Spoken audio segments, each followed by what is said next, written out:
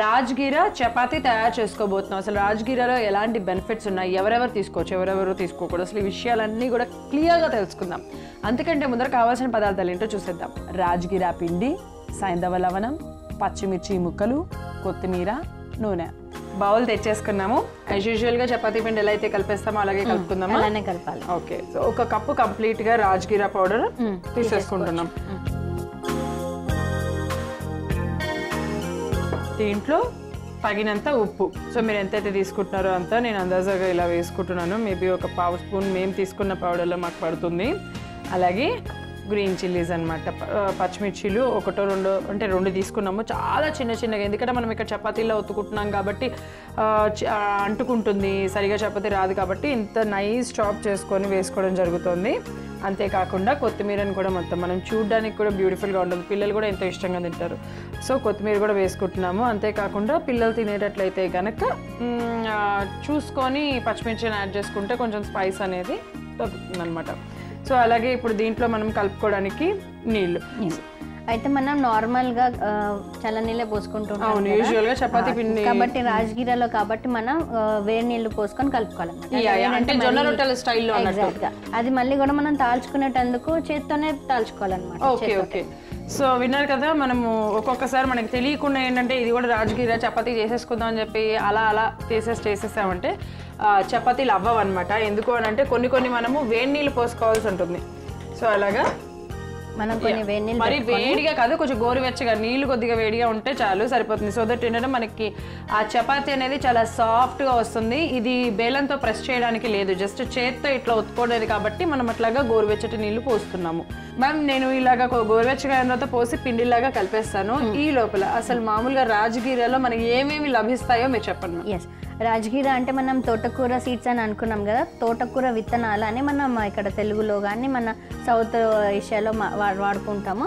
నార్త్లో దీనిని రాజగిర అని పిలుస్తూ ఉంటారు. ఇది ముఖ్యంగా మనకి హిమోగ్లోబిన్ లెవెల్స్ పెంచడానికి మెయిన్గా ఇమ్యూన్ బూస్టర్ లాగా అత్యధికమైనటువంటి కాంపోనెంట్స్ ఉన్నాయి. అంటే నర్వస్ సిస్టమ్ని ఉత్తేజింపజేసేటువంటి కెపాసిటీ మనకి రాజగిర సీడ్స్లో ఉంటుంది. తోటకూర విత్తనాలలో ఉంటుంది.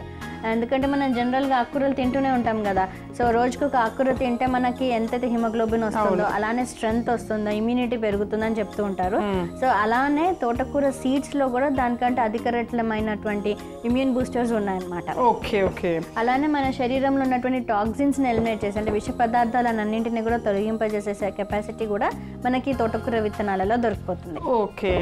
సో మ్యామ్ ఇదైతే దీంట్లో కొద్దిగా ఒక స్పూన్ నూనె కూడా వేస్తున్నాను. మొత్తం కలుపుకున్నాం కాబట్టి ఇలా నేను ఒక ముద్దలాగా చేసుకున్నాను. చేసుకున్న యాజ్ యూజువల్గా చపాతీ పిండి పైన ఒక స్పూన్ నూనె వేసుకుంటాం కదా అలానే దీంట్లో కూడా అలాగా ఒక స్పూన్ నూనె వేసుకొని మరొక్కసారి కలిపేసుకుంటున్నాము. ఇప్పుడు మామూలుగా చపాతీ అనేది ఒక మన వాళ్ళు ఏంటంటే యూజువల్గా పంజాబీ సైడ్ మార్వాడీస్ వీళ్ళందరూ చపాతీలు ఎక్కువ తింటూ ఉంటారు. ఎందుకంటే అక్కడ వాళ్ళ క్లైమేట్కి సెట్ అవుతుంది. ఇక్కడ మనం డైట్ కంట్రోల్ అనడానికి చపాతీలు తింటూ ఉంటాం కదా. మరి ఇది డైటింగ్కి పనికొస్తుందా? ఎగ్జాక్ట్గా. చాలా బాగా పనికొస్తుంది. ఇది మన బ్లడ్ గ్లూకోజ్ లెవెల్స్ని కూడా కంట్రోల్ చేస్తుంది అనమాట అంటే తక్కువగా చేస్తుంది. మనం ఒకటి రెండు చపాతీ తిన్న తిన్నప్పటికే మనకి ఫుల్ అయినట్టు అనిపిస్తుంది అనమాట కడుపు నిండినట్టుగా ఉంటుంది. సో దానివల్ల మనం అధికంగా తినము. అండ్ మన తినే కెపాసిటీ కూడా కొంచెం తగ్గుతుంది బట్ న్యూట్రిషన్ బాగా ఉంటుంది అనమాట ఓకే వేడి చేయడం అలా కూడా అలా కూడా ఉండదా. ఓకే. సో ఎవరైనా తీసుకోవచ్చు ఎవరైనా. తీసుకోవచ్చు మనం చిన్న పిల్లలకు కూడా పెట్టచ్చు. ఓకే. సో చూసారు కదా సాధారణంగా కొంతమంది చపాతీలు తింటే నాకు పడట్లేదను నాకు అరగట్లేదను నాకు వేడి చేస్తున్నా అన్ని రెగ్యులర్గా తినడం అలవాటు అయిపోయిన వాళ్ళు ఒకేసారి ఏదైనా సరే మార్చదాం అని ప్రయత్నించినప్పుడు ఒకేసారి మార్చేయకూడదు అనమాట ఇది కొంచెం అది కొంచెం. అంటే చపాతీ ఒకటి అన్నం కొంచెం. అలా మెల్లిమెల్లిగా చేంజ్ అనేది చేసుకుంటూ ఉంటే మన స్టమక్ కూడా అలవాటు అవుతూ ఉంటుంది. డైజెషన్ ఈజీగా అవుతుంది. సో ఇప్పుడైతే కనుక నేను ఇలా పిండిలాగా చేసేసుకున్నాం కాబట్టి దీన్ని ఇప్పుడు చపాతీలాగా ఒత్తేసుకుందాం. ఓకే నేను ఇలాగ ఒక చపాతీ ముద్ద తీసేసుకుంటున్నాను. దీని ఏంటంటే మనం బెల్లంతో ప్రెస్ చేయలేం కాబట్టి జస్ట్ ఇలాగా ఇలా ముద్ద తీసుకొని కింద చపాతి పిండి అంటే ఆ పిండి ఏదైతే ఉందో అది వేసేసుకొని ఇప్పుడు దీన్ని ప్రెస్ చేసుకోవాలన్నమాట. సో మనం ఈ లోపల వేడి చేసుకుందాం. ఓకే. ప్యాన్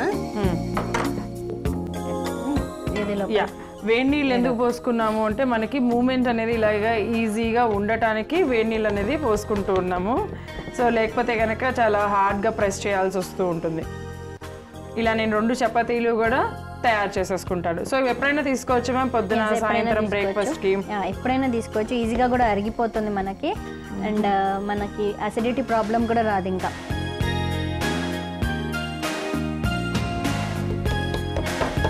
ఓకే సో చూసేసారు కదా ఎలా వచ్చేసిందో? మంచిగా సన్నగా వచ్చేసింది ఇది. ఇప్పుడు దీన్ని జాగ్రత్తగా పెనం మీద వేసేసుకుందాం. సో నూనె ఎప్పుడైనా లేకపోతే రెండు సైడ్స్ కాల్చుకుందాం నూనె వేసుకుందామా? ఓకే ఈ లోపల ఇంకొకటి కూడా తయారు చేసేస్తాను. రావట్లేదు. తిప్పుదాం ఈ లోపల ఒకసారి. సో ఇప్పుడు కొద్దిగా నూనె వేస్తాను దీనిపైన నేను చేస్తాను.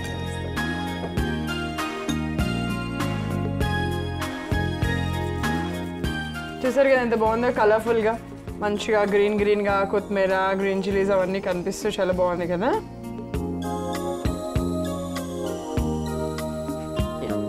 సో ఇంకొక సైడ్ కూడా ఒకసారి టర్న్ చేసుకొని దానిపైన కూడా నూనె అప్లై చేసుకుందాం. మామూలుగా ఇవి పుల్కల్లాగా అంటే నూనె లేకుండా కూడా అట్లా కూడా తినేసేయచ్చు ఈ మంచిగా. ఓకే. వీలైతే కొంచెం గీ కూడా వేసుకొని మనం కాల్చుకోవచ్చు అనమాట చిన్నపిల్లలకైతే ఆవునే వేసేసి మంచిగా ఈ చపాతీలను కాల్చేసుకోవచ్చు. ఓకే. ఇప్పుడు ఈ చపాతీని మంచిగా కాల్చేసుకున్నాం కదా దీన్ని మనం ప్లేట్లోకి తీసేసుకుందాం. నెక్స్ట్ ఇంకొకటి చేసేదాకా మనం చూద్దాం. ఇది స్నాక్స్ లాగా కూడా పెట్టేసేయచ్చు పిల్లలకి కూడా.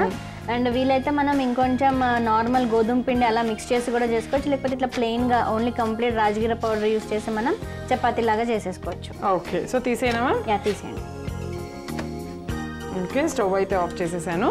ఎస్ సో మన హిమోగ్లోబిన్ని ఇంప్రూవ్ చేసేటువంటిది ముఖ్యంగా ఇమ్యూనిటీ బూస్టర్గా పనిచేస్తూ మన నర్వస్ సిస్టమ్ పైన అధికమైనటువంటి ప్రయోజనాలను కల్పిస్తున్నటువంటి రాజగీర చపాతీ రెడీగా ఉంది.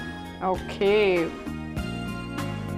సో చూసారు కదా ఈరోజు మనము కొత్తగా అంటే రాజగిరాతో చపాతీ తయారు చేసేసుకున్నాం. రాజగిరా చపాతీ అన్నట్టు ఇది మనకి ఇమ్యూనిటీ పవర్ని అందించడంతో పాటుగా హిమోగ్లోబిన్ లెవెల్స్ని కూడా అధికం చేస్తుంది. అంతేకాకుండా మన నర్వస్ సిస్టమ్ని కూడా బలపరుస్తుంది. మనకి ఇన్స్టెంట్ ఎనర్జీని ఇస్తుంది. ఆకలి లేకుండా అంటే ఒక రెండు మూడు చపాతీలు తిన్నామంటే ఎక్కువసేపు ఆకలి లేకుండా ఉండేటట్టుగా కూడా చేస్తుంది. డైట్లో మనం ఇంక్లూడ్ కూడా చేసుకునేటువంటి ఒక అద్భుతమైన రెసిపీ అన్నట్టు. సో మరి ఇంత రుచికరాన్ని ఆరోగ్యాన్ని అందించే ఈ రాజగిర చపాతీ ఎలా ఉందో నేను కూడా టేస్ట్ చేసి చెప్పేస్తాను. సో నాకు uh, డౌట్ లైక్ uh, చేస్తున్న దగ్గర నుంచి ఇది కూడా చపాతీ ఫ్లేవర్ వస్తుందా? లేకపోతే ఇంకెలా ఉంటుంది ఏంటి అనేది అనుకుంటూ ఉన్నాను అనమాట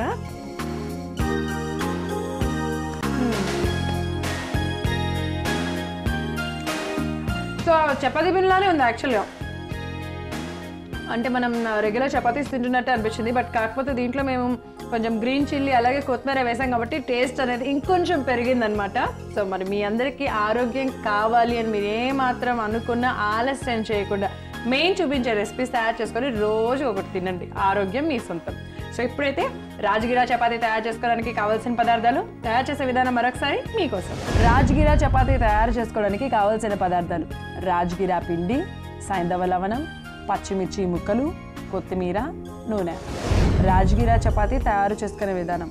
ముందుగా ఒక మిక్సింగ్ బౌల్ తీసుకొని అందులో ఒక కప్పు రాజగిరా పిండి రుచికి సరిపడా సైంధవ లవణం ఒక చెంచా పచ్చిమిర్చి ముక్కలు కొత్తిమీర వేసి కలుపుకోవాలి.